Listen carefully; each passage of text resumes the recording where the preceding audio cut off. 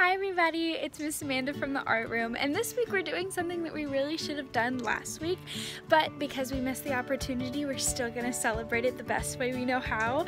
Easter was last Sunday so what we're going to be doing is decorating some eggs. I'm going to show y'all exactly how. You can do it with paint, marker, anything you want, anything that you find around the house and this is how we do it. My mom's actually in this video so say hello to my mother but uh, we're going to decorate some eggs for you today.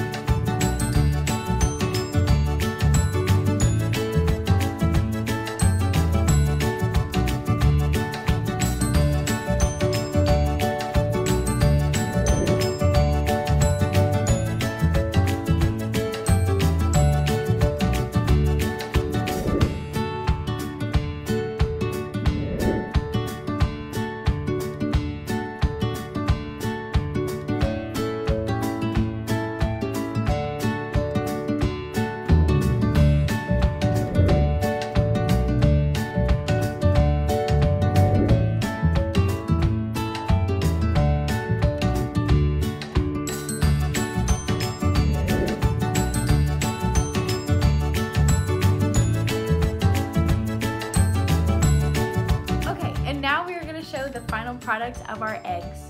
So you can show your first one. There's my dog. and then there's my sunshine. And then there's my little decorative one.